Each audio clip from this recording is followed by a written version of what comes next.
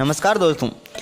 किसी भी खिलाड़ी के लिए विदेशी धरती पर बल्लेबाजी करना इतना आसान रहता नहीं है। तो दोस्तों, आज हम आपको बताएँगे कि पिछले पाँच साल में भारतीय टीम के रोहित शर्मा और ऑस्ट्रेलिया के कैप्टन एरोन फिंच ने वनडे क्रिकेट में विदेशी धरती पर कितने रन बनाए हैं?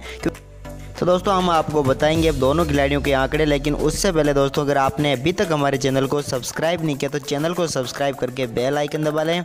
और साथ ही दोस्तों, अगर ये जानकारी आपको अच्छी लगे तो इस वीडियो को दिल से एक लाइक ज़रूर कर दें।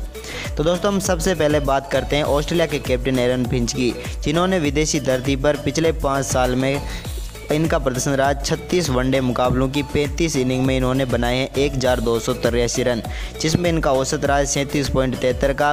इनका बेस्ट स्कोर रहा एक सौ चौबीस, इन्होंने लगाए हैं तीन शतक और नौ अर्शतक यानी कि पिछले पाँच साल में विदेशी धरती पर इनका प्रदर्शन भी अच्छा खासा रहा है, लेकिन दोस्तों उतना भी अच्छा नहीं रहा। अब बात करते हैं दोस्तों हम भारतीय टीम के हिटमैन रोहित शर्मा की।